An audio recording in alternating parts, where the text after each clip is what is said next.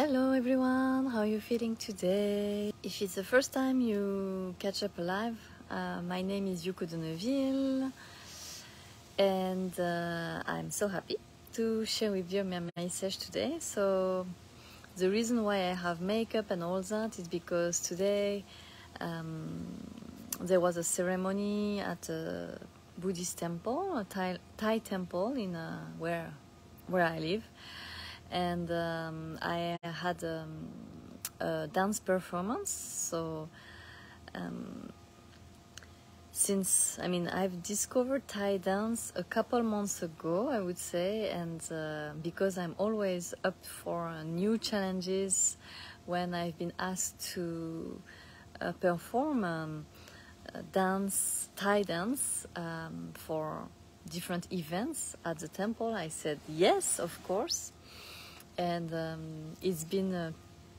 true pleasure to learn a new dance. I love dancing. For those of you who don't know, I love dance. Uh, I've been doing different type of dance during my, my life. I've been doing flamenco, hip hop, and recently um, embodied dance. Now I'm really into embodied dance, which is a free dance, uh, free movement dance, uh, guided by our breath and uh, recently I discovered Thai dance. And I wanted to just to connect this experience with the facts, with expatriation, with living abroad, because this is a big part of my life, uh, living abroad, right? I have lived in different countries, and what I realized is living abroad brought so many different experiences in my life. And you know i live in the united in the united states so we could say but thai dance has nothing to do with united states right?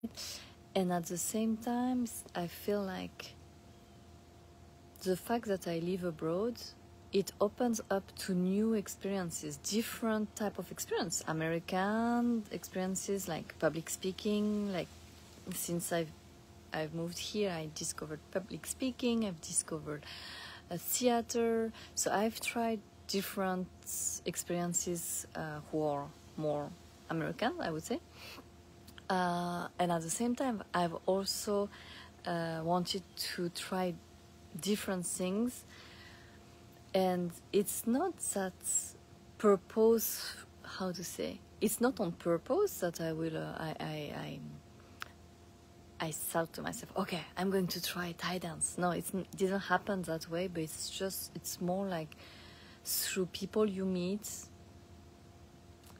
by coincidence. But we could say also it may not be a coincidence. I truly believe in um, fates and also in experiences that come to us usually it's not by coincidence. It's for a reason. Is to learn something new. Is to go on a different path. And it's been that way my whole life. At least since i've been conscious about it i realize that different people i meet at different times always guide me on my next path and I could write a book about that. There are so many different coincidences in my life that brought me to the next next step. But anyway, I just wanted to say that it's been a wonderful experience to try Thai dance. Um, I am going to continue, of course, because there will be other events and other shows, other performances.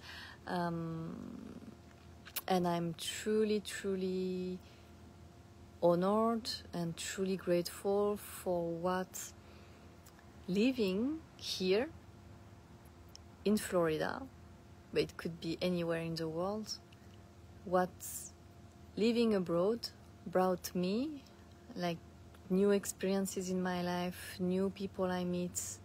I've met so many wonderful people in Rochester, New York when I lived there seven years ago, and now in Melbourne, in Florida, I've met so many wonderful people in Florida as well. And uh, that is really the beauty of living abroad. Of course, I have amazing friends in France and in Japan, where I come from. And moving abroad just keeps bringing more and more um, wonderful experiences, wonderful people in my life. And I think it's just a matter of grasping the um, opportunities that come because they open up to new um, how to say new experiences simply when you grasp new opportunities with an open heart and a curiosity and open mind it brings in your life learning learning opportunities new friendship. It's just incredible. I wish you all a wonderful day or evening and i send you lots of love. Bye bye mata ne sayonara good evening.